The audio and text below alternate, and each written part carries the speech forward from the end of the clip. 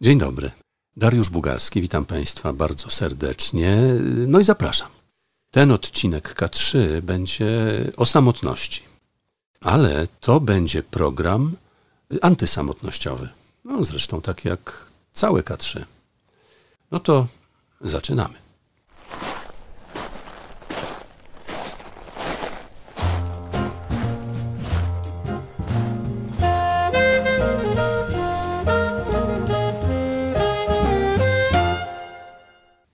Pstryk. Aha, Zaczynamy? tak.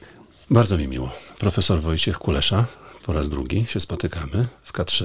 Dziękuję za miłe Wtedy- zaproszenie. Co dla mnie wielka przyjemność. Wtedy rozmawialiśmy o nierealistycznym optymizmie, Mhm. a dzisiaj będziemy rozmawiali o Titaniku i o górze lodowej. Robimy sobie zdjęcia na Titaniku. I krzyczymy do kapitana cała naprzód. Jeszcze i to. Mhm. Ta góra lodowa to jest e, To jest samotność, która nas zatopi, a Titanic to my na nim, całe nasze społeczeństwo. Nie robimy nic, żeby walczyć z samotnością, albo inaczej, robimy wszystko, żeby samotność nas zabiła, a nasze wnuki a no, będą cierpieć potwornie e, samotność. niezły wstęp. Właśnie sobie pomyślałem, że niedobry początek. To może zacznijmy od podtytułu K3. To jest podcast o dobrym życiu. Mhm. Dobre życie to jest jakie? Główny warunek, to jak pan mówi i cytuję różnych badaczy, to są więzi, to jest bliskość. To są ludzie, ale sięgnijmy, tutaj widzę na półce Pismo Święte. Jest także tak. Sięgnijmy do Biblii, żebyście się wzajemnie miłowali. Nawet jeżeli ktoś jest niewierzący, no ale jednak duży fragment świata, nie największy, ale duży, ma korzenie chrześcijańskie. Więc bycie bliskie z innymi ludźmi, dobre bycie z innymi ludźmi jest najważniejszym przesłaniem. Najważniejszym. I To- psychologia też to mówi, nie tylko Biblia. Tak, psychologia, a co więcej, medycyna. Ja mam od pewnego czasu coraz głębsze wrażenie, że my jako psychologowie gdzieś zajmujemy się nie tym, co trzeba. Medycyna pokazuje wprost to, co nam najbardziej zagraża, to samotność. Praca doktora Vivek Marthi. On jest, byśmy to powiedzieli, krajowym konsultantem w Stanach w sprawie chirurgii. On jest lekarzem, i on opublikował w 2023 roku raport, gdzie w tytule już krzyczy: Coś, co najbardziej nam zagraża, to jest samotność. Pokazuje dane, że ludzie, którzy są samotni, o 30% rośnie ryzyko udaru zawału, o 50% demencji.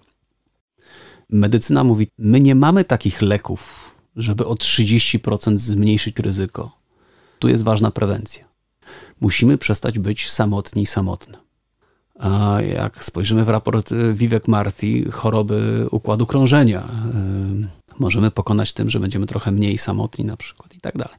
Choroby neurodegeneracyjne, Alzheimer czy Parkinson.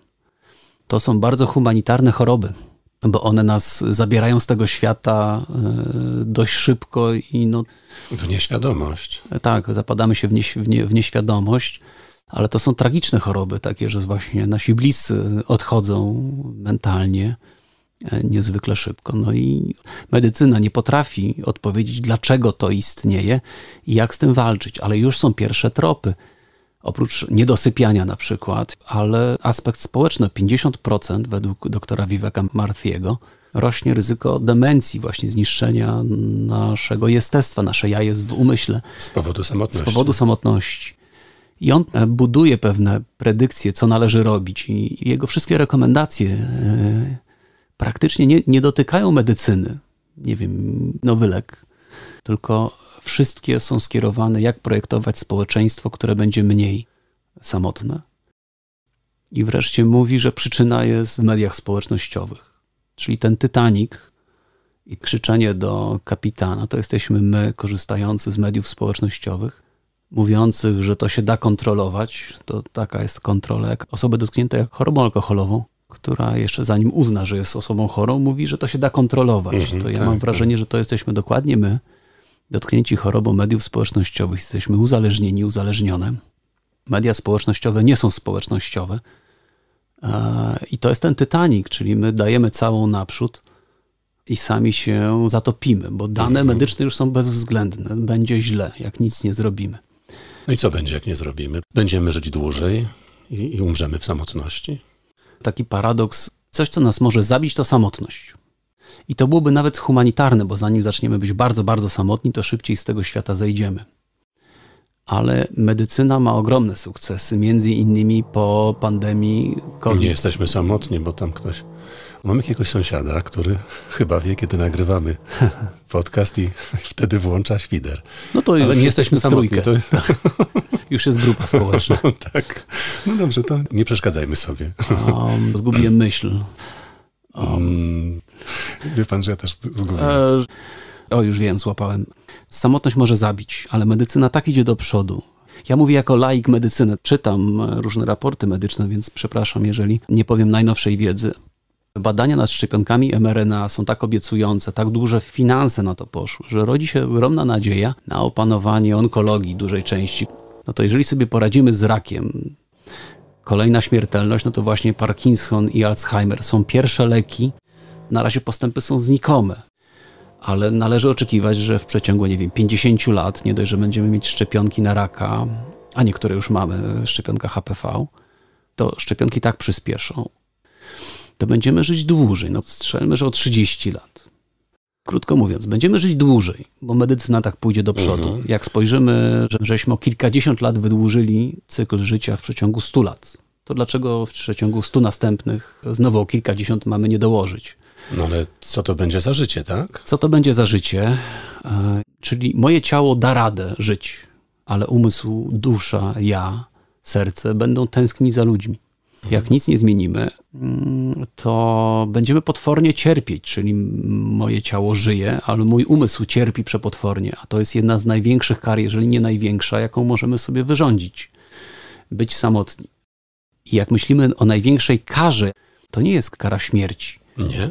Nie. Największa kara to jest jednak izolacja, no bo jak dokonałem strasznej rzeczy, jak mnie się zabije, versus jeżeli by mnie tak zamurować żywcem, i podawać mi tacką jedzenie. Chęć życia będzie na tyle duża, że ja będę jadł, ale ja nie będę widział innych ludzi przez całe swoje życie. I uważane jest, że bycie samemu, samej powyżej 15 dni w więzieniu, czyli być skazanym na izolację, to już jest podwójna kara. Czyli jeżeli ja popełniłem przestępstwo, trafiam do więzienia, no to sąd mnie skazał, ale ktoś w więzieniu może uznać, że ja zrobiłem znowu coś złego, więc skazuje mnie już bez sądu na izolację. Na izolację, tak. W części Europy uznaje się pobyt powyżej 15 dni za torturę. 15 dni. Ta norma się przekracza. W Stanach Zjednoczonych dzisiaj, kiedy Państwo tego słuchacie, w izolatkach siedzi około 130, być może 150 tysięcy ludzi. Jeżeli przyjmiemy, że Polska jest 10 razy mniejsza, to jest 13 tysięcy czy 15 tysięcy ludzi. Ja nie wiem, ile w Polsce teraz siedzi. Ciężko znaleźć dane. Ale co się dzieje z ludźmi w izolatkach? Okazuje się, że to jest to samo, co mówi dr Vivek Marti, tylko to są już badania psychiatrów, to jest znowu medycyna. Demencja. Rośnie ogromnie ryzyko samobójstw. I badania psychiatrów pokazują, że ta mała populacja, te 130 tysięcy, to jest w ogóle mały procent jednak wszystkich siedzących w więzieniach. Ale połowa mniej więcej samobójstw jest popełniana przez tę małą część. Czyli jak człowieka zamurujemy, odetniemy go od innych ludzi. To jest absolutna tortura. Przykłady. Człowiek w izolacji w Stanach ma prawo do telefonu raz na 90 dni. Raz na 90 Raz dni? na 90 dni. Tak? Tak. A, czyli my go odcinamy naprawdę od, od relacji. On na przykład y, dowie się z listu, który idzie na przykład tydzień, że zmarła jego matka. To jest kara, no nie może być na pogrzebie ale to jest tortura, która się obraca przeciwko nam. I to bym za chwilę chciał do tego wrócić, że my się naprawdę nad tym człowiekiem znęcamy. Ale można powiedzieć, dobrze, to jest zbrodniarz, no i należy mu się kara. No w pełni szanuję taki głos. Jeżeli byłbym ojcem dziecka, które zostało zamordowane, no to ja oczywiście, że się tego bym domagał. Nie chrześcijańsko, ale by, mhm. moja furia była znacznie większa niż moja wiara ale spójrzmy jednak na społeczeństwo. My liczymy na to, że jak jest kara, ten człowiek będzie lepszy kiedyś. Jest więzienie, które ma mnie naprawić. Idealnie byłoby, gdybym ja tym, którym wyrządziłem krzywdę, odpłacił, ale społeczeństwo tak naprawdę chce, żebyśmy wychodząc z więzienia byli lepszymi ludźmi. A jak człowiek opuszcza torturę, on wie, że się na nim mszczono i że to jest szybka decyzja administracyjna. A w ogóle więzienia w Polsce no, nie są nastawione, szanuję specjalistów, którzy tam pracują, ale ten system nie jest ustawiony na rehabilitację społeczną. On odziera z godności, z jestestwa, więc system się na nich mści, on nie naprawia ludzi. Tortura po prostu. To jest tortura, a jednak to miłosierdzie wymaga pochylenia się nad zbrodniarzem i próbą odseparowania go od społeczeństwa, ale pracy z nim, żeby w tym społeczeństwie więziennym on przynajmniej był lepszym człowiekiem.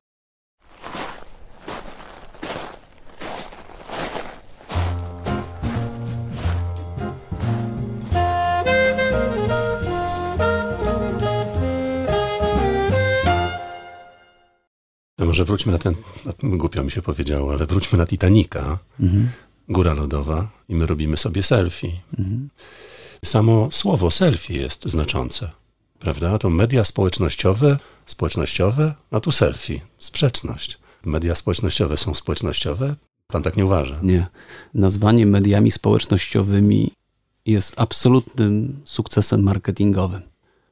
To jest jak nazwanie armii pro-life. Krzesło elektryczne jako wygodny mebel. Mhm.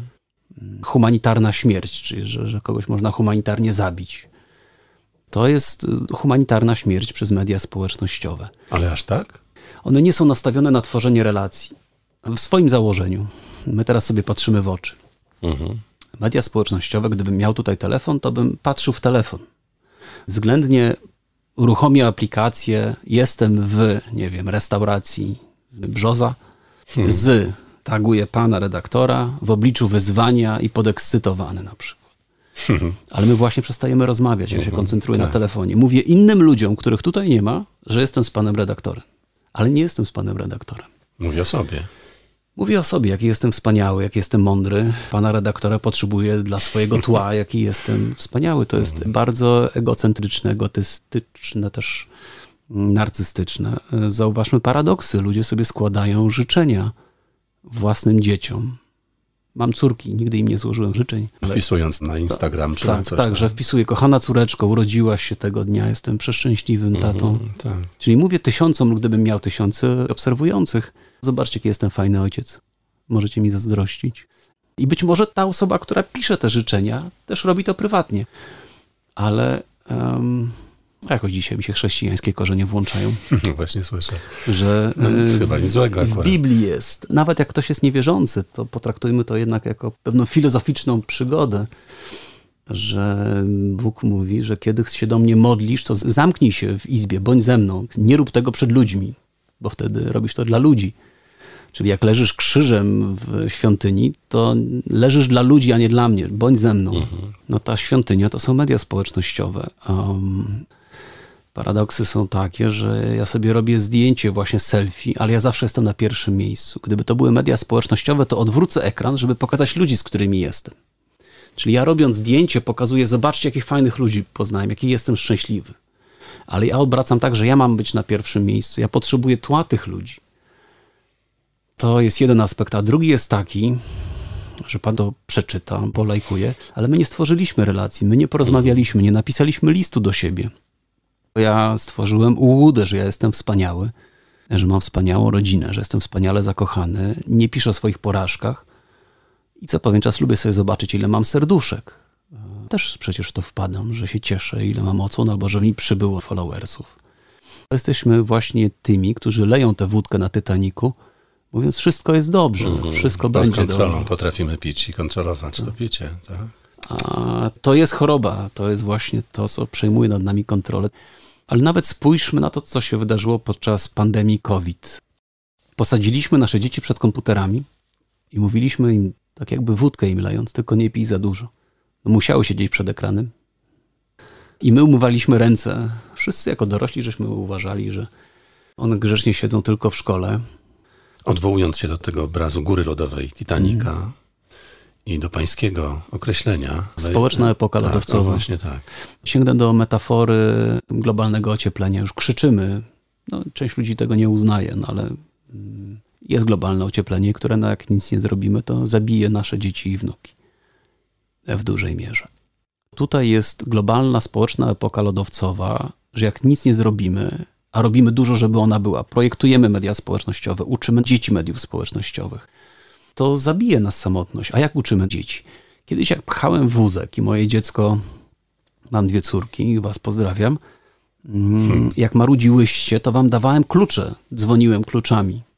Dawałem wam piszczącą zabawkę. Dużo lepiej działa, jak dam telefon. Najlepszy uspokajacz dzieci. Dziecko dostaje pierwszy telefon, jak ma kilka lat, ale przez cały czas widzi ten telefon. Widzi mnie non-stop w telefonie. Zobaczmy nas na ulicy. Idziemy z dzieckiem, trzymamy je za rękę, ono idzie z przedszkola i sobie patrzy na niebo, bo jeszcze nie ma telefonu, ale my jesteśmy w tym telefonie. Projektujemy dla naszych dzieci narzędzie, o, o które one nie prosiły. To jest ten Titanic, że jeszcze podnosimy nasze dzieci i mówimy, zobacz jaka ta góra jest wspaniała, ona cię ukoi. Mhm. Lejemy tę wódkę, mówiąc tylko pij ostrożnie. I mówimy, wszystko będzie dobrze, ale nie będzie dobrze. Vivek Murphy, medycyna, badania z więzień pokazują, że samotność zabija. Media społecznościowe.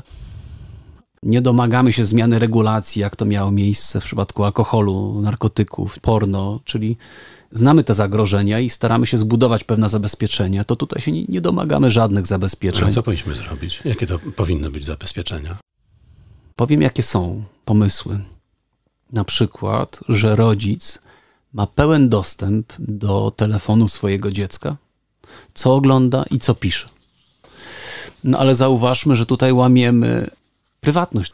No poza tym sami jesteśmy często uzależnieni, no i co z tego? Czyli tak? my sobie poogląd pooglądamy hate speech, ale dzieciom powiemy, żeby nie czytały hate speech i mamy wrażenie, że jest wszystko dobrze.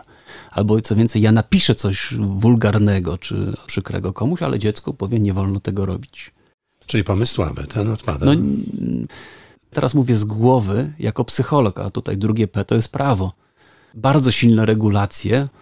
Zobaczmy na przykładzie, niech będzie branży tytoniowej Musisz napisać na pudełku, że to jest szkodliwe. Nie możesz tego sprzedawać osobie poniżej 18 roku życia.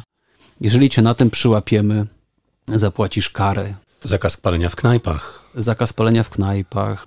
Ludzie, którzy umarli od papierosów, ich rodziny pozwały firmy tytoniowe. Żadna firma tytoniowa teraz nie powie, że to jest prospołeczna, fajna, miła rzecz, bo palimy w grupie. Regulacje prawne, bym podsumował. No właśnie, czy to się da zrobić? te media społecznościowe też robią coś dobrego jednak. To nie samo zło. Robią, prawda? oczywiście. No i, no i co? Na przykład, żeby firmy pokazywały, tylko zaznaczam, że nie jestem prawnikiem, więc nie wiem, mhm, jak to tak, ująć tak, tak. W, w literę prawa. Dane, które mają, czyli każda firma musi patrzeć, czy ich aplikacja nie prowadzi do negatywnych skutków psycho, psychologiczno-psychiatrycznych dla użytkowników. A muszę to raportować jestem prześwietlany przez audytorów, czy nie projektuję tej aplikacji po to, żeby uzależniać użytkownika. Metaforą, która mi chodzi po głowie, to są fora internetowe. Pasjonaci drzewa brzoza, niech będzie. Patrzę za, za okna. Robimy forum i się wymieniamy, gdzie są brzozy w Warszawie. Składamy sobie życzenia, tworzymy sobie kalendarz co roku z brzozami najładniejszymi w zamyśle to było społeczne, czyli że ludzie się spotykają i czymś wymieniają, czy nawet się zdrowo pokłócą. To to nie jest zaprojektowane, żeby y, był hate speech, mowa nienawiści, żebyśmy się uzależniali ani od brzus, ani od tego forum. No to media społecznościowe poszły dalej, to przestało tworzyć relacje. Tutaj jesteśmy atomizowani, tutaj nie ma komunikacji odwzajemnionej, więc żeby twórca tej aplikacji musiał raportować, co wie, na temat swoich użytkowników, czy im się krzywda nie dzieje. No i wiemy, że z tym jest marnie, no bo nie ma żadnego mechanizmu, żeby zmusić. No, a żadna firma y, nie będzie raportować na temat swojego produktu, że on jest szkodliwy, póki nie musi tego robić.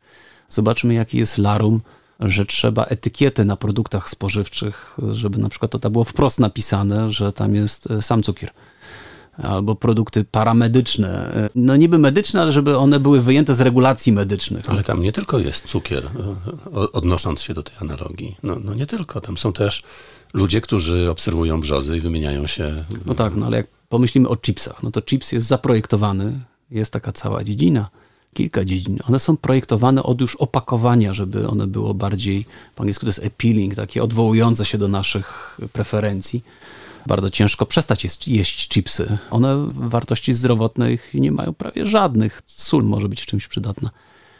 Ale no, one służą z przyjemności, kropka. Jak zmienimy opakowania, wprowadzimy regulację, że to opakowanie ma inaczej wyglądać, że tam powinny być pewne informacje umieszczone, to człowiek sięgający tak jakby po tytoń jest bardziej tego świadomy. No to zobaczmy, że koncerny mediów społecznościowych nie raportują żadnych takich rzeczy. A wygląda na to, że technologia idzie tak do przodu, że każdy, każda z nas może zrobić taki test, że technologia już wie, kiedy my tracimy koncentrację.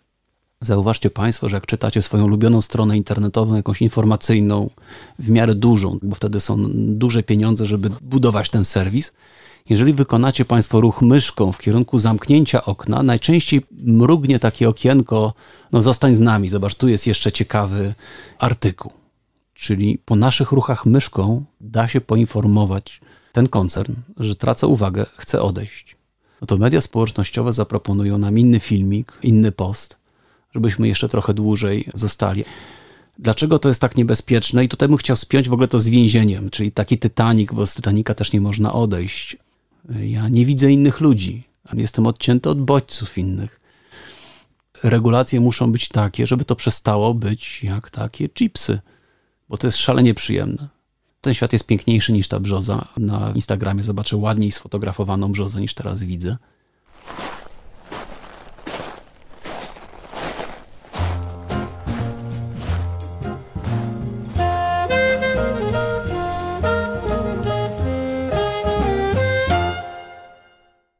Wie pan, ale pytanie, ale samo ograniczenie nie zadziała. Przyjmuje pan jako punkt odniesienia pewnik, no, że my nie chcemy tego zrobić. No jakiekolwiek samo ograniczenie nam nie wychodzi. Dbaj o sen, uprawiaj sport. Medycyna nam mówi, co mamy robić, a my strasznie słabo to robimy. No, czasem trzeba nas do tego zmusić. Czyli na przykład, że się zmusza pracodawcę, żeby kupił lepsze krzesła, żeby kręgosłupy mniej siadały to to są ograniczenia, że pracodawca wie, że szkodzi. Na budowach musimy nosić kaski. No nikt ich nie lubi nosić, głowa się poci. To jest nieestetyczne. Ale chroni życie. Takie ograniczenia musimy e, żądać od ustawodawcy. Teraz czarno widzę, bo kampanie wyborcze odbywają się przez media społecznościowe to jeżeli ja bym kandydował, nie zamierzam, um, nie wiem, no, hmm. na, na, niech będą wybory prezydenckie, że Kulesza przyjdzie i zlikwiduje wszechobecną władzę mediów społecznościowych, to jak ja ogłoszę, że ja to zrobię, to media społecznościowe wytną mnie z algorytmów. Ja nie będę promowany. No więc ja nie będę tego mówił. Media społecznościowe mają władzę nieprawdopodobną nad nami, nad naszą uwagą, nad naszymi relacjami, ale też liczbę danych, które o nas mają, są nieprawdopodobne. I gdyby one służyły tylko dobru, to bym się nie odzywał, tylko że służą też złym rzeczom.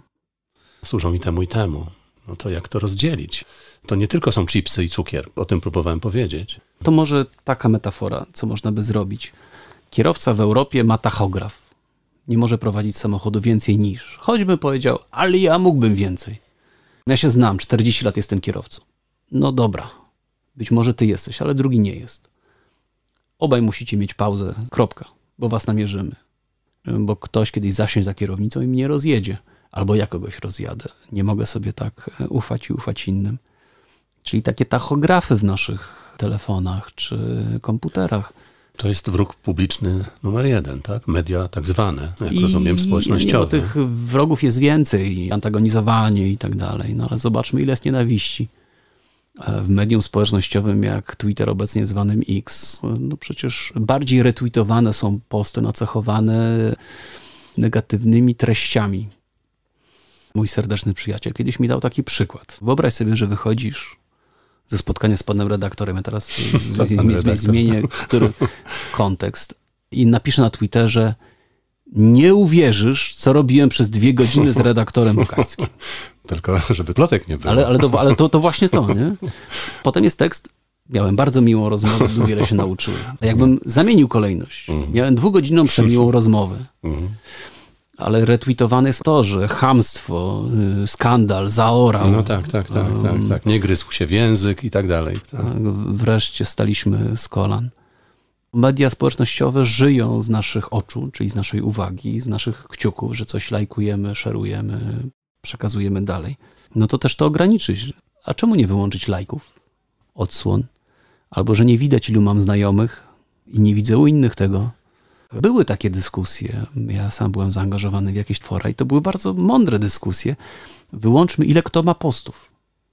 Znam Piotra, który pisze, pisze i go lubię, bo mądre rzeczy pisze, albo pisze głupio, to go unikam.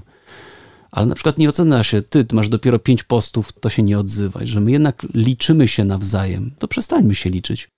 Gwiazdka nadziei. Ja jestem dobrej myśli, jak do tej pory udało nam się samo ograniczyć, co zajmuje nam naście czy kilkadziesiąt lat. Tutaj też uważam, że nam się to uda, na przykład jak ograniczamy swój język nienawiści. Część z nas bardzo tego pilnuje. Pamiętam 30 lat temu kawały, które opowiadałem albo słyszałem. Prawda, to się zmieniło. Kiedyś byliśmy dużo bardziej agresywni na drogach. Jest obowiązek jazdy na suwak. To naprawdę nas zmieniło. 30 lat temu, chyba 30 lat temu prawo jazdy zrobiono prawie. To było wciskanie się, taki samiec, żeby kogoś nie wpuścić. A teraz dziękujemy sobie. Ja dziękuję komuś, że mnie przepuścił, a ktoś mi odmachuje, nie, nie ma sprawy. Tak, Czyli my tak. jesteśmy w stanie się samo ograniczyć. Przestaliśmy tak szybko jeździć, zaczęliśmy być uprzejmi dla siebie. Ale muszą być ograniczenia te od góry, nie tylko od dołu, tak? Ale te ograniczenia odgórne nas tak zmieniają, że my już nawet o nich nie pamiętamy. I to może być pozytywne. To jak powstało metro warszawskie. Na początku metra warszawskiego był ogromny problem z jazdą na schodach ruchomych, bo ci, którzy się spieszyli, nie mogli przejść, a ci, którzy się nie spieszyli, chcieli w spokoju sobie pogadać na tych schodach. To bardzo prosta zasada. Nie spieszysz się, przejdź na prawo. Spieszysz się, idź lewą stroną i żyjemy ze sobą. Ja nie pamiętam już, czy była jakaś kampania społeczna, czy nie, ale wszyscy tego przestrzegamy. I jesteśmy dzięki temu do tych wszystkich anonimowych ludzi uprzejmi nawzajem. No właśnie, nie wystarczy samo ograniczenie, tylko muszą być jakieś odgórne ograniczenie, prawo, przepisy i tak dalej. tak No to dalej. jazda, jeśli, jeśli chodzi jazda na suwak. prawda? Jazda na suwak, czyli na przykład, że producenci muszą raportować, muszą zareagować, kiedy to jest zgłoszone. Jak w spółce akcyjnej, że to jest raportowane. Oczywiście, że firmy farmaceutyczne, nie będzie przykład prawa farmaceutycznego, że, że one mają różne rzeczy za uszami, ale jednak jest ogromna restrykcja. No i przez to, że muszą raportować różne rzeczy, to firmy nawzajem patrzą sobie na ręce, bo jak przyłapią konkurencję i ich zgłoszą gdzieś, no to oni mają przekichane na lata. To może Titanic nie utonie jednak? No to jest moje takie wezwanie, call to action, em, takie wołanie. Nie ja jako pierwszy, ja jestem zainspirowany. Wybitny psycholog Cacioppo, on ma wystąpienie na TEDzie, to Państwo zachęcam. TED. Teresa Edward Daniel. Idee warte roz, rozpropagowania, podtytuł. Tak. tak? Szerzenia. Tak, Mhm. szerzenia wiedzy i Cacioppo, to jest jeden z bardzo znanych psychologów społecznych. On napisał książkę Samotność. Potem wystąpił na TEDzie i mówił o zagrożeniu samotnością. Wcześniej Filip Zimbardo, słynny z badań nad psychologią zła, ale on napisał o samotności. No inny tytuł dał, Nieśmiałość. Odkrył, kiedy już był bardzo znany psychologiem i mógł spokojnie już tylko odcinać kupony, on odkrył, że wielu studentów mówi, Zdarza mi się w moim życiu, że przez samotność wycofuję się z rzeczy, zachowań, relacji i na tym tracę. Chciałbym być bardziej śmiały. Czyli to jest też rozmowa o antysamotności. I Zimbardo robił pewne symulacje, ćwiczenia, żeby ośmielić ludzi, żeby wychodzili do ludzi bardziej, bo sami zgłaszają, że mają z tym problem i im z tym źle.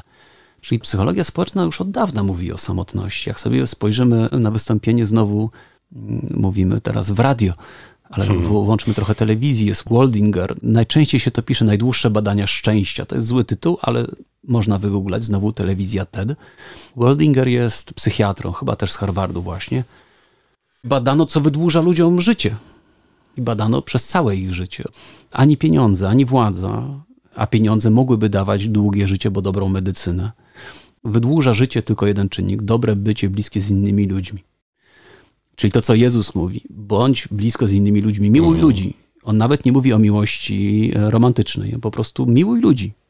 Jak przeczytamy w Biblii wreszcie, bo to jest ten call to action, piękny fragment, który często się czyta na ślubach, że miłość nie jest wredna, też ja teraz już mówię współczesnym językiem, tak, ona, tak, ona tak, nie zazdrości i tak dalej. Podstawmy pod miłość przyjaźń, albo w ogóle relacje z ludźmi. To mówimy od tysięcy lat, że najważniejsze jest dobro, ale dobro ukierunkowane na ludzi. Wtedy jest zbawienie, jest szczęście i tak dalej. Czyli ten call to action jest od dawna, tylko my jakoś w ogóle się tym nie zajmujemy. Oczywiście, że segregacja śmieci jest ważna, bo jak tego nie zrobimy, to unicestwimy ziemię, ale już coś z tym robimy. To o samotności nie domagamy się zmiany prawa, korzystamy na potęgę z mediów społecznościowych, I co więcej, nie słuchamy wyników badań. Już są silne badania. Jest świetna książka, na razie angielska, myślę, że w Polsce też wyjdzie Generations o pięciu generacjach e, Amerykanów, gdzie autorka pokazuje silne dane mówiące, że media społecznościowe nas niszczą. Czyli już mamy takie badania. Kaczoppo jeszcze przed nią mówi, zacznijmy słuchać tych osób. Bo jeżeli nic nie zrobimy, to medycyna nam mówi, to jest ten nasz Titanic, krzyczymy cała naprzód, widzimy tę lodową mhm. górę. I będziemy żyć 130 lat, pewnie. W samotności. samotności. 100 lat samotności. Ojej, piękna książka, ale... E, może być... Ale lepiej nie przeżywać jej. Wyciągnąć wnioski, przeprojektować nasze życie, bo nasze dzieci będą miały jeszcze trudniej, nasze wnuki, niż my. One się o to nie prosiły. Mm, kropka. To może ja teraz coś panu i państwu przeczytam, bo właśnie myślę, że to jest. No, bardzo chciałem o tym z kimś porozmawiać, a z kim miałbym rozmawiać, jak, jak nie z panem.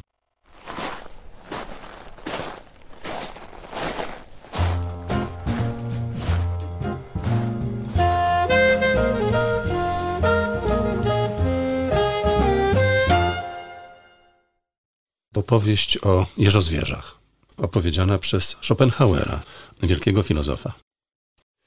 Zimowy dzień. Jeżozwierze tulą się do siebie, żeby się rozgrzać. A potem zaczynają odczuwać wbijanie się kolców, bo były zbyt mocno stłoczone. To się muszą odsunąć. Potem znowu jest im zimno i wtedy znowu się do siebie zbliżają. Ciekawe, że autor pisze popychane instynktem, a potem znowu się odsuwają, bo te kolce. I znowu tak, i tak. Opowieść o samotności i o bliskości, i o dystansie. Wybitne, tak. Tak? Mhm. Ma to sens? Tak, tak. No więc tutaj... Wspaniale, że pan to znalazł. A, no to się cieszę. No to jednak samotność też jest ważna, istotna, bo z tej rozmowy wynika, że samotność jest najgorsza. No, epidemia samotności, samotność nas zabije, ale są różne samotności. Samotność chyba jest konieczna do życia też. Jakaś. Samotność, a bycie samemu. No właśnie. Medytacja, patrzenie na brzozę, chodzenie po górach samemu czy samej, to oczywiście nie szkodzi. Nie Musimy, szkodzi, ale... ale, ale... Pamiętam słowa podróżnika, który wyjechał na Alaskę. Zginął tragicznie, bo pomylił jagody, się zatruł. I odnaleziono jego pamiętnik. To jedno z ostatnich zdań brzmiało, że największe piękno, jeżeli nie można go dzielić z innym człowiekiem, to piękno jest mi zabierane, bo jestem sam dzielę się z innymi ludźmi, opowiem im książkę, którą przeczytałem, opowiem, jakie piękne góry widziałem. Były badania nad tym, co rodzi szczęście. Szczęście jako well-being, dobrostan. Mhm. Testowano pięć podstawowych, w uproszczeniu zróbmy cztery. E, medytacja, uprawianie sportu, kontakt z naturą i bycie z innymi ludźmi. To jest cztery to się okazuje, że tylko bycie z innymi ludźmi podnosi naszą satysfakcję z życia. I ktoś powie, no zaraz, ale ja medytuję i mi to dobrze robi. Ja uprawiam sport i mi to dobrze robi. Jak chodzę, spaceruję po lesie, mi to dobrze robi. Psychologia mówi, no i też masz rację. Tylko, że zauważ, że często to robisz z innymi ludźmi. A po drugie, jak robisz sam, to się tym dzielisz. Piszesz na forum, jaką piękną brzozę widziałem na spacerze. Mhm. Czyli ciężko jest znaleźć badania, że samotność rodzi nam długofalowe zyski, ale bycie samemu, no, trzeba mieć czas dla samego siebie. No. Jest taki filozof Heschel, tak pisze.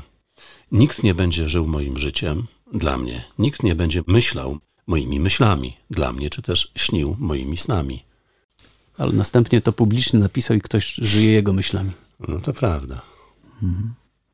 Pewnie, że niezależność jest ważna, ale konformizm też wskazany, normy społeczne, ale nikt nie będzie żył moimi, ale właśnie to napisał i powiedział innym, żyjcie moimi.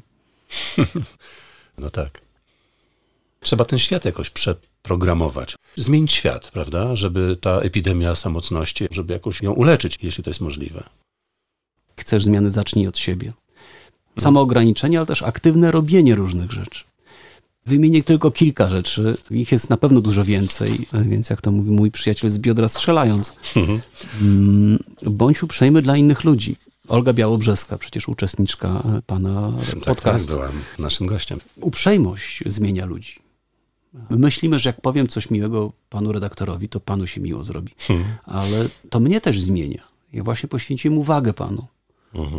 Ta codzienna uprzejmość, że powiem innym osobom, to jest ćwiczenie, czasem studentom czy na szkoleniach je zadaję. Przez dwa czy trzy tygodnie powiedz dwóm obcym osobom coś miłego. Ja wtedy nie patrzę w telefon. Ja kieruję uwagę, moje gałki oczne i mózg, który za nimi, mam nadzieję, stoi, na innego człowieka. Mówię mu, co o nim myślę i to jest coś miłego, a nie piszę coś wrednego komuś. Kiedyś takiej pani powiedziałem w ramach tego ćwiczenia, pani ma czyste buty. Ja mam strasznie brudne. To jest jednak miłe, jak ktoś ma czyste Mhm. buty. To nie zależy od pieniędzy Mhm. Tylko od uważności. Albo wie pani co, w kiosku y, taki ma pani wspaniały uśmiech. Pani nie musiała, ale się pani do mnie uśmiechnęła. Mhm. Ale Pan tak mówi ludziom, tak? Tak, tak. Tak. Ale, Nie, ale, ale, ale, ale, miłych rzeczy powiedział, że aż mi głupio, że się nie, nie rewanżuje odpowiednio, ale, ale jestem zasłuchany Jak tym, kończyliśmy mówi, ostatni to, podcast, mówi. y, ale żeby mówić uczciwe rzeczy, bo to nie chodzi, że zmyślam, tylko zmuś się do tego, żeby zobaczyć dobro, które jest. Odejdź od Twittera, który przede wszystkim szczuje, ale to ja szczuję, Twitter to przekazuje dalej. Ćwiczenie Everyday Kindness. Są takie ćwiczenia, Czyli które... codziennej uprzejmości. Co, codzien, tak? Przepraszam, tak, codziennej uprzejmości, co zmienia ludzi, ale też człowieka, który to robi, mnie samego to zmienia. Ćwiczenia z psychologii pozytywnej. John Mordechai Gottman, kiedyś przetłumaczyłem jego grę Magiczne 5 godzin, można sobie to wygooglać. Czyli na przykład z bliskimi osobami, z którymi mieszkam, z przyjaciółmi, z dziećmi, z partnerem romantycznym. Znajdź 5 minut rano na porozmawianie. Pięć minut czy pięć godzin? 5 Pan- minut. Pan powiedział o pięciu tak, godzinach. tak, ale Mhm. to się sumuje do 5 godzin. A, rozumiem. 5 tak. minut rano miłej rozmowy. Kiedyś to robiliśmy na potęgę. Z naszym dzieckiem, z naszym partnerem, z naszym rodzicem rozmawialiśmy. Wróć do tego. Znajdź czas na everyday kindness. Powiedz, za co kochasz, szanujesz, za co dziękujesz. Ja się koncentruję na tym, ile od tej osoby dostaję. Znajdź czas na fizyczny kontakt, na podanie ręki, pogłaskanie czy przytulenie. Pójdź na randkę dwie godziny. No i wtedy jestem pytany, czy pójście do kina się liczy. Nie, nie liczy się, bo ja wtedy patrzę na ekran, tak jakby media społecznościowe. Dwie godziny musicie porozmawiać. Zależy, po co się chodzi do kina, wie pan, różnie to. Oczywiście, oczywiście. No przecież wiemy. Mm, więc te pięć godzin to się sumuje w ciągu tygodnia. To jest umowne, nikt nie siedzi ze stoperem. pięć godzin w ciągu tygodnia, Pięć, tak? tygodni, Żeby się nie pie, zbierało. pięć godzin w tygodniu wykonywać te ćwiczenia, to się sumuje do pięciu godzin. Czyli są takie rozwiązania i to jest w myśl, właśnie chcesz zmiany, zacznij od siebie. Nie pisz strasznych rzeczy, nie szczuj na ludzi, zaprotestuj przeciwko mowie nienawiści, ale tę mowę nienawiści my do... mm, Nie będę przeklinał. Tak. e, E, ro, robimy. Przy dworcu wschodnim jest, są słowa Karskiego. Kto milczy, ten przyzwala. Jeżeli ja nie protestuję, u mnie na drzwiach w gabinecie flaga ukraińska wisi i ktoś namalował swastykę. Ja przeciwko temu protestuję. Tego człowieka zatrzymałem za to. Jak milczę, jak przymknę oko, to to jest pierwszy krok, że ja sam zacznę to robić. To są małe rzeczy. Jakaś transmisja następuje. Ale jak sobie dziękujemy za, y, jak pan nie wpuści w korku, jadąc Mhm. samochodem, no to my właśnie takie krótkie, w psychologii nudge, szturchnięcia, mamy dobrych relacji. Coś miłego powiedziałem, ktoś mi powiedział coś miłego, ktoś nie naskoczył na mnie, nie skrytykował, albo coś napisał y, niekrzywdzącego na mój temat. To są te rzeczy, które tworzą relacje, czyli medium społecznościowe, jeżeli będzie służyć naprawdę do tworzenia relacji, czyli ta metafora forum, to możemy wszyscy robić. Wykorzystajmy. Przecież na Facebooku oczywiście, że są grupy. I to jest właśnie fajne, że ludzie piszą wspólnie na jakiś temat, więc ja sobie będę postował swoje ładne zdjęcia z brzozą i mówiąc, że to jest moja brzoza i ona jest ładniejsza niż twoja.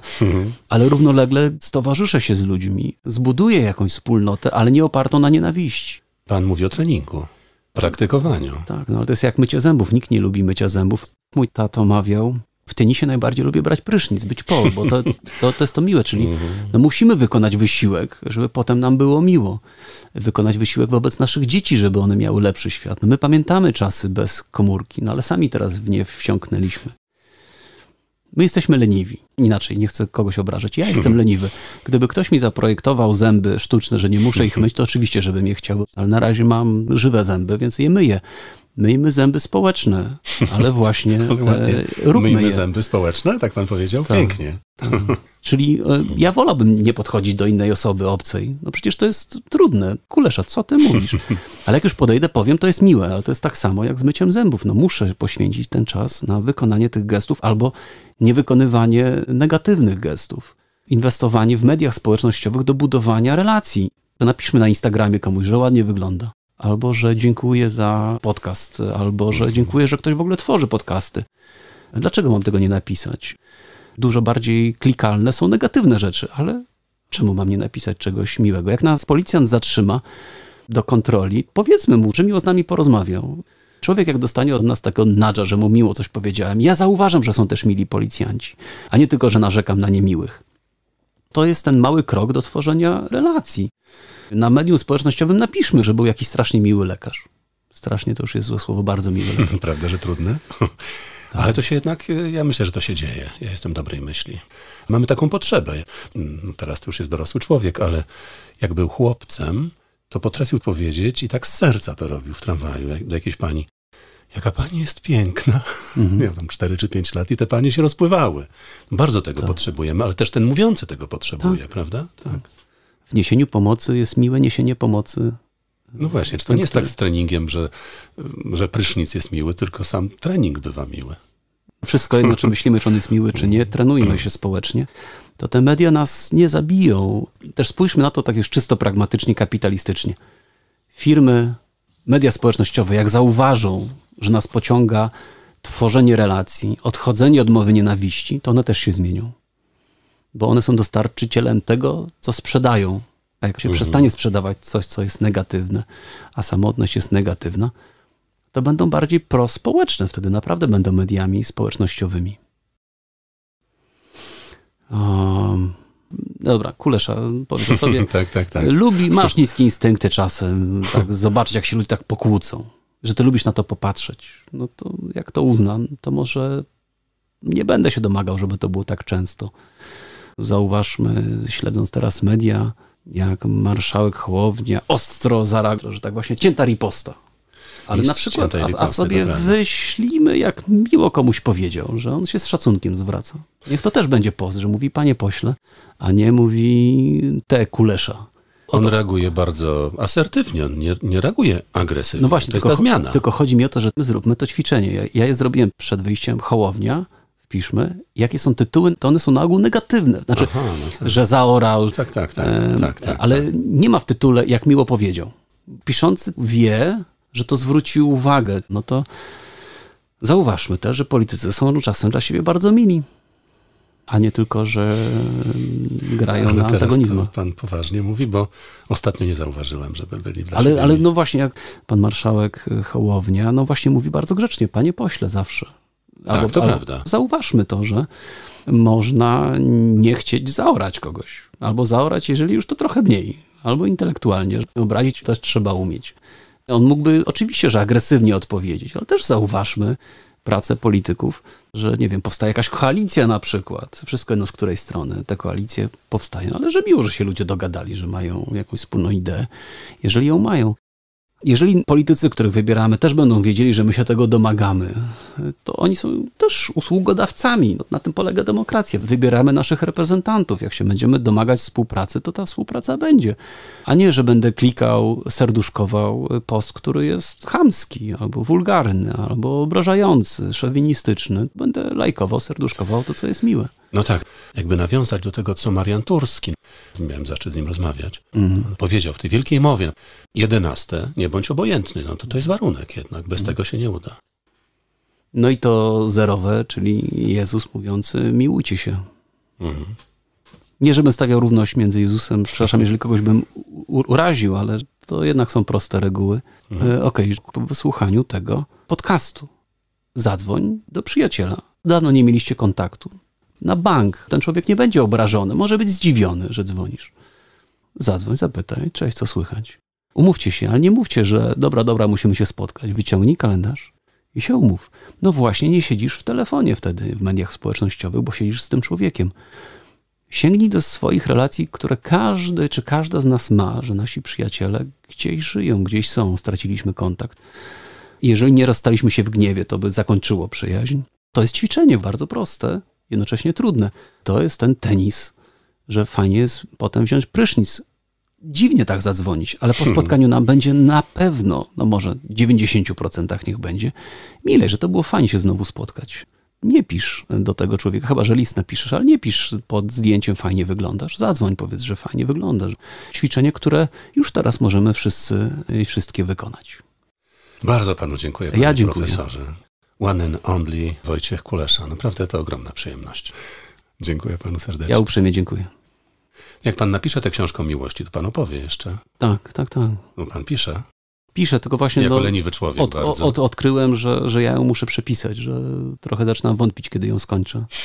Że ją chcę napisać jako opowieść, e, a nie ex katedra. No Niech pan pisze, bo nie możemy się doczekać. No to ja dziękuję. Dziękuję. Ach, Boże.